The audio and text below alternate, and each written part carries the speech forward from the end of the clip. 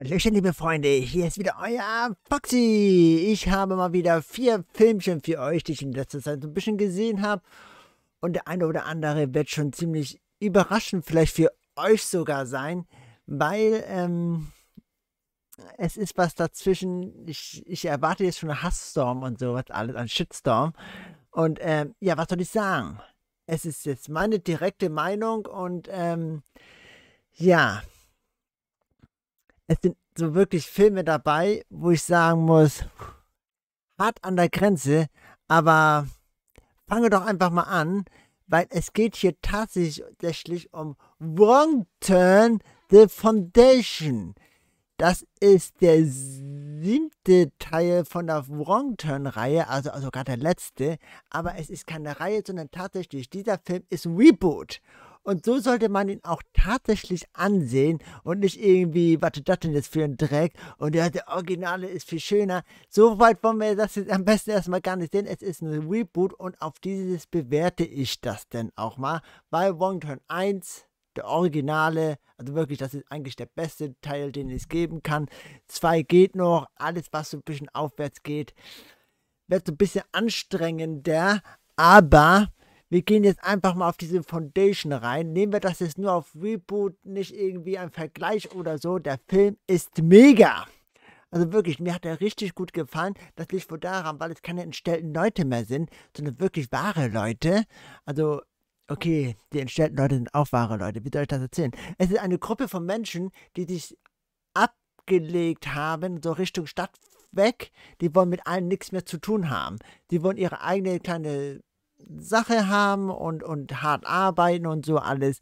Und wenn die Leute in den Wald kommen, äh, werden sie natürlich auch gejagt. Die haben dann nämlich nichts zu suchen, das ist ihr Gebiet. Und das finde ich natürlich auch sehr gut gemacht. Einmal ganz kurz zu dem Film. So weiter. Für mich muss ich sagen, es ist in drei Teilen unter, äh, eingeteilt. Einmal, ähm, ja, wo wie es beginnt, bis hin zu das Jagen. Also dann werden sie gejagt. Dann sind sie gefangen und danach kommt die Flucht. Also wirklich, das sind so wirklich drei Sachen. Obwohl die Flucht bleibt nicht mehr viel übrig von den Leuten, weil der ist einfach nur echt gut. Ähm, schauspielerisch, tolle Leistung, viel Angst. Da merkt man aber auch, dass sie wirklich echt da ihr Bestes geben tun. Also die Angst und Schrecken. Bitte, warte, warte, warte. Und so richtig geil gemacht. Also ich muss schon sagen, einfach mal die anderen Wong Turn ausklicken und den so nehmen, wie er ist. Und da muss ich sagen, ich würde mich auf den zweiten Teil wahnsinnig freuen. Nun ist der Hauptmann aber tot, aber die ganze Gruppe existiert ja noch. Also es spricht nichts dagegen, dass da äh, noch ein wirklicher Teil kommt. Also wirklich hammermäßig der Film. Ich kann ihn nur wirklich empfehlen. Und ähm, springen wir mal rüber zum nächsten Film. Das ist nämlich Castle Freak. Castle Freak, den kennt ihr vielleicht, ist ein ziemlich alter Film, aber auch das ist jetzt ein Remake. Ähm, nicht der Originale, über den ich rede. Der Originale fand ich mm, in Ordnung, jetzt nicht so der Burner. Da muss ich schon sagen, hui, diese Version, diese Remake-Version, finde ich sehr, sehr gut gelungen. Die Atmosphäre, und die Zusammenarbeit zwischen dem Mann und die Frau ist schon ziemlich heftig. Also ähm, zuerst verstehen die sich. Äh, er will natürlich schnell das Schloss verkaufen, also den Castle. Und ähm, die ist zuerst dann dafür und die hört dann doch immer was hinter der Mauer. Er glaubt's nicht. Er fängt wieder an, Drogen zu nehmen. Er hat so ein Drogenproblem und Trinkproblem. Und ähm, da geht es dann noch weiter. Das Problem ist natürlich, die Frau ist blind. Auch hier äh, komischerweise wie das Zufall des will, durch einen Unfall, einen Autounfall. Ähm, da hieß es dann, ja, ich sehe nichts mehr, ich sehe nichts mehr. Und dann hat man später dann gesehen, dass sie völlig blind ist. Also keine Ahnung, was der Unfall da jetzt verursacht hat, aber auf jeden Fall war es nicht schön. Ähm, der Film Anna für sich ist richtig gut, der, die Wesen und die Hintergründe vom Film, auch hier spannend gemacht. Der Abschluss, wo der Alte wiederkommen soll, kommt wohl auch wieder, während die blinde Frau halt anscheinend ein Baby bekommt und dann war Schluss der Film. Also auch wirklich hier ist der schlagartig beendet worden, schreit nach einer Fortsetzung, weil ich sagen muss, huh, Hut ab. Gut gemacht.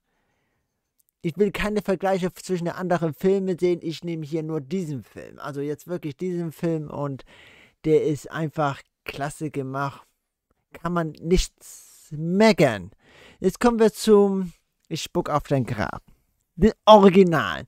Den habe ich mir jetzt natürlich gestern angesehen. Ich war jetzt neugierig, was da so abgeht, weil ich den ewig nicht gesehen hatte.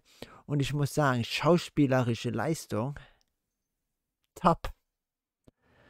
Ähm, man hat es sogar auch irgendwie gesehen, also dass man nicht ernst alles war, weil man hat den Hass in ihre Augen tatsächlich mitfühlen können und ähm, volle Verständnis für die Frau, dass sie da völlig ähm, überreagiert, sage ich mal so. Natürlich ist Mord keine Lösung, aber die Story, die geht auch ziemlich weit weg zwischen diesem Remake und den, wo ich sagen muss, sorry Leute, der Remake gefiel mir um einiges, aber um einiges besser. Hier geht es mehr um diese wirklich herzergreifend alles. Es tut schon ein leid, wie die Frau, ähm, ja, vergewaltigt wird und dann gehen sie wieder weg und sie krabbelt in der Welt, da kommt nix und springt auch nochmal auf ihr drauf. Es ist wirklich schon krass und man hat es wirklich an ihre, ja, weiß ich nicht. Entweder ist sie wirklich eine gute Schauspielerin, nur noch geschrien und natürlich auch geweint und irgendwann war sie einfach fertig. Sie hat es nur noch mit sich entgehen lassen, sie hatte einfach keine Wahl mehr gehabt. Sie war wirklich fertig. So kam es im Film zumindest auch rüber. Und der eine, sag ich mal, Vollidiot, der sollte sie dann noch killen, hat es aber nicht gemacht, weil ähm, er sie doch halt gern hatte. Und ja, er ist auch der Erste, der dran glauben musste. Und eigentlich hatte er auch eigentlich den brutalsten Tod. Hat er nicht verdient, er hat sie immer noch versucht zu schützen. Er hat sie nicht umgebracht, obwohl er das sollte. Eieieiei, er hat eigentlich nicht verdient, so grausam ermordet zu werden. Das waren so jetzt erstmal meine drei Sachen, wo ich sagen muss, Remakes sind besser. Jetzt habe ich natürlich noch einen vierten und das hat mal kein Remake oder so. Ich muss mal sagen, der nennt sich Tag a High School Splatterfilm. Ist das ein Splatter-Film? Ja, was du auf dem Bild siehst, das passiert tatsächlich. Der Film ist schon so blöde, dass er schon wieder fast gut ist. Verstehen tut man die Story nicht ein Stück.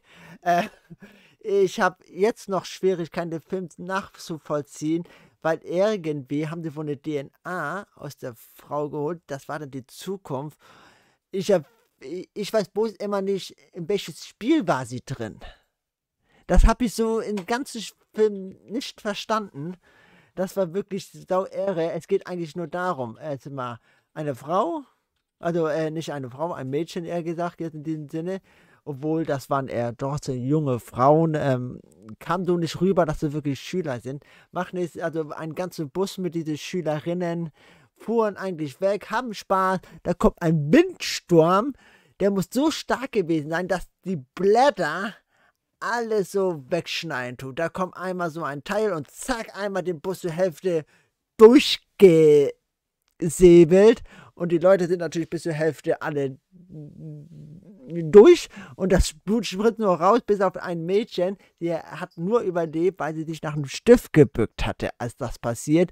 Die lief natürlich weg, da kommen noch ein paar andere Leute und zack, sind sie auch gleich zerschnitten worden.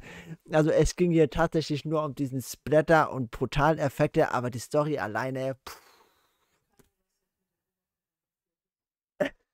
Interessant fand ich die Story denn jetzt auch noch. Ähm, die war voller Blut beschmiert und hat noch eine Kleidung gefunden von einer Schülerin, die tot war, also zerstückelt. Aber nein, dieses, dieses Oberteil war noch sauber und frisch. Da fragt man sich doch, wie ist das passiert und noch nicht mal durchgeschnitten. Er war natürlich ein bisschen so und als er das später gesagt hatte, habe ich von einer Schülerin ähm, ja angezogen. Äh, gut, diese Kleidung hing natürlich da, aber woher kommt die? Das war jetzt schon wieder so sehr auffällig, wo man eigentlich schon im Film dann denkt,